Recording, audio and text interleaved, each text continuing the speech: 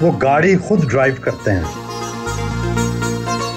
نواب صاحب آپ اس عمر میں بھی موٹر سائیکل چلا لیتے ہیں گاڑی خود چلاتے ہیں۔ کیا اس میں کوئی مزہ ہے؟ ہوا کو دیکھنے میں خود گاڑی چلانے میں۔ جی اس پہ موٹر سائیکل چلانے پہ یا میری گاڑی چلانے پہ کسی کو اعتراض نہیں ہونا چاہیے۔ کیونکہ ظاہر ہے یعنی ہر شخص کی خواہشات اب میں اسکول کے دنوں سے میں میں نے موٹر سائیکل رکھا ہے، میرے پاس گاڑی ہے، تو میں چلاتا ہوں اور پھر اگر میں اپنا میں اپنے سر کے بال شیو کرتا ہوں، تو سر بھی میرا ہے، بال بھی میرا ہے لوگوں کو کیا ان کو اعتراض ہونا چاہیے؟ ان کو اعتراض نہیں ہونا چاہیے؟ ہر چیز پہ وہ وہ اعتراض کرتے ہیں۔ زمانے کے رکھ رکھاؤ یا رسم و رواج کا خیال تو رکھنا پڑتا ہے نا۔ ہاں وہ کیا کہتے ہیں رکھ رکھا ہوں ہاں۔ ہاں نہیں میں کوشش کرتا ہوں اس طرح۔ ابھی تقریباً کوئی کافی عرصے موٹر سائیکل میں نہیں چلا ہے۔ کچھ عرصہ میں میں بیمار رہا میں یورپ میں رہا۔ پھر یورپ سے جب میں واپس آیا وہ کچھ کمزوری ہے میرا۔ پھر انشاءاللہ جاؤں گا چیک اپ کے لیے۔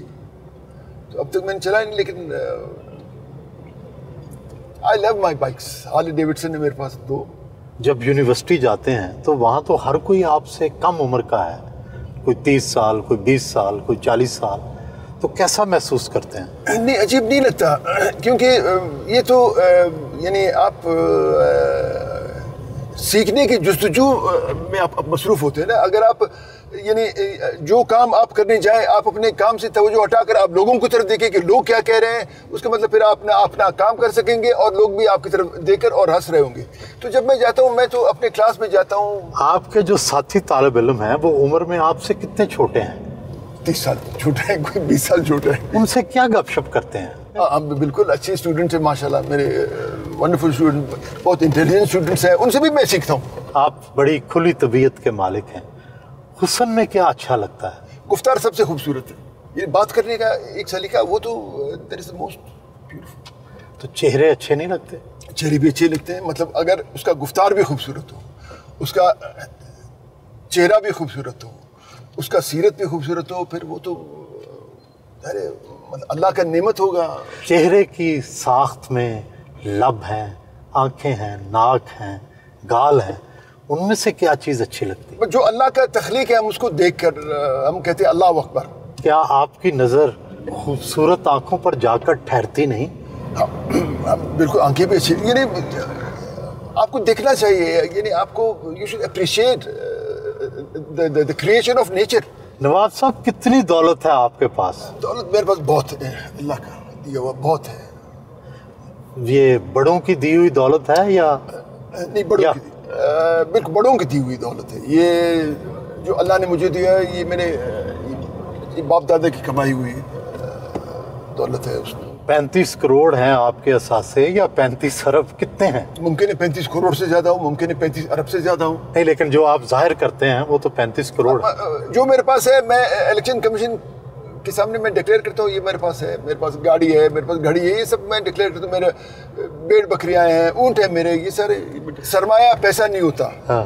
سرمایہ انسان کے شخصی دوستیاں بھی ہوتی ہیں وہ بھی سرمایہ ہوتا ہے انسان کا۔ آپ آپ بھی ہمارے دوست ہیں ہمارے محترم میں آپ بھی ہمارے سرمایہ ہیں یہ بازی بھی ہمارا سرمایہ ہے بولان بھی اسی طرح یعنی سرمایہ صرف پیسہ نہیں ہوتا۔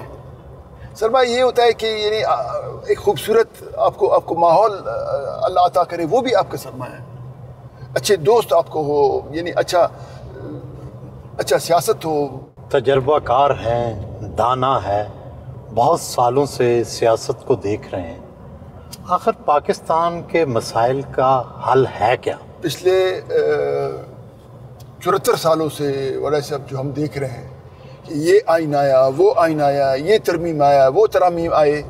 لیکن اب تک یعنی اس آئین نے یا اس آئین نے یا جو انہوں نے بنایا، اس نے کوئی یعنی ماحول کو بہتر کرنے میں یعنی کسی نے اس کو اس کو چھوڑا نہیں۔ اچھا پھر یہاں جو قومیں رہتے ہیں، جو جو محکوم قومیں رہتے ہیں، جو اپنے تاریخی، سیاسی حقوق کے لیے جدوجہد کر رہے ہیں ان کے حقوق اور یعنی ان کے ان کے بات کو بھی تحفظ حاصل نہیں ہے۔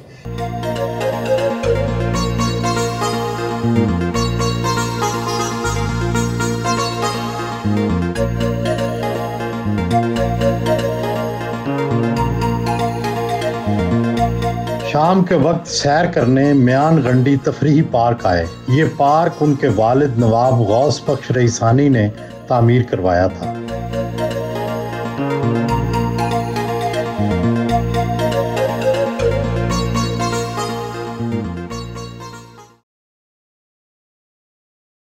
پنجگانہ نماز کے پابند ہیں۔